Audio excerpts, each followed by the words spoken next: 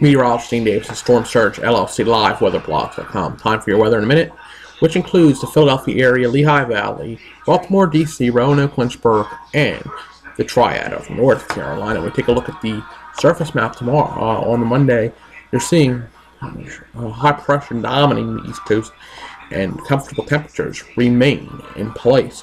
Uh, the next, the area with the chance of a thunderstorm around in the Midwest.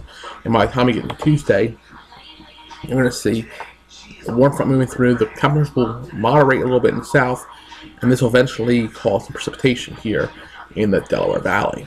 So, taking a look at the five-day forecast for the Ro- for the Del- uh, Roanoke Valley, we have 72 sunshine Monday, 81 Tuesday, 84 Wednesday, 81 Thursday, and 79 Friday. All pretty sunny skies. Wednesday, Thursday, we may see a sprinkle, but I've kept it out of the forecast for now because of its low chance. But in the Delaware Valley, you have 71, 77, 79 with chance of rain, possibly thunderstorm, 81 on Thursday, and then 74 on Friday, which looks like we're going to get into a pretty nice pattern for Memorial Day. Keep it with liveweatherblogs.com for all your latest weather information. Thank you for watching, and we'll talk to you a little later.